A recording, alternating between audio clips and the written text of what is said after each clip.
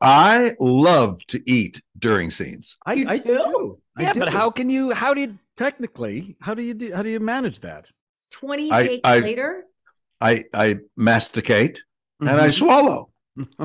You can cut that out too. I think you can cut. Alright. Let's cut that out. But wait, It's going to but sound like every- masturbate and swallow, and Oh. that, that we'll have to deal with in post. Um, Um, It's like it's like when you watch an old movie and they're all smoking. If you watch a Bogart movie and they're smoking in uh, on one side of it, they're smoking the other side. They're smoking the overs. They're smoking the wide. They must have smoked ten packs of cigarettes a day. So That's why they get- died at That's what 42. That's what they all did then. That was just standard. Yeah. So, Bryan, do you keep like a, a defecation bucket uh, by your seat? No, no, Never no. I'm I'm.